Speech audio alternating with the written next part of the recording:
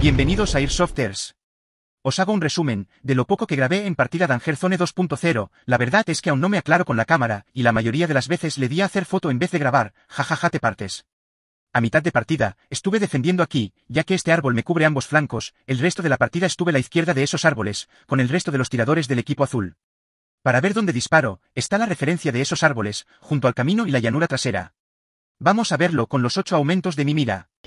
Vemos los árboles que he marcado antes, el de la izquierda grande, y esos dos árboles donde está el enemigo, que están a 90 metros de distancia. El enemigo utiliza una buena táctica, el médico se esconde, aunque casi le doy, mientras otro jugador se la juega para rescatar al herido, escondiéndose primero tras el árbol, ya que mis disparos le pasan rozando, no ha sido eliminado por poco. ¿Pero por qué no me han disparado? Pues no sé si no me veían o por lo lejos que estoy. Ahora desde la misma posición, vamos a disparar hacia el CQB, como referencia, mis bolas pasan por encima de ese árbol, que está a 80 metros, pero llegar hasta las protecciones verdes imposible, mis bolas caen justo antes, que son 93 metros ya es un huevo, suficiente para que el que se esconde detrás no avance.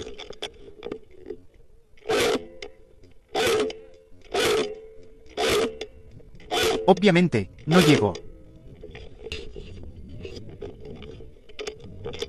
Intento disparar un poco más alto, y nada, a 93 metros como en el mapa anterior, se caen.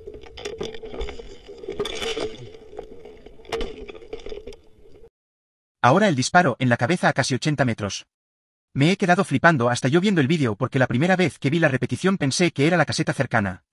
Pero luego, si resulta que hay más edificios antes de llegar LOL, resulta que es la del centro del mapa, la que hay delante de la trinchera en cruz y después de una trinchera diagonal que veis aquí en amarillo, 78 metracos, pero no disparé a la cabeza a propósito, ya que esto lo veis en grande vosotros ahora, impartido en la mira telescópica se ve muy pequeño y no se distingue, por eso, me di cuenta de que lo eliminé, ya que, no será un chaleco reflectante.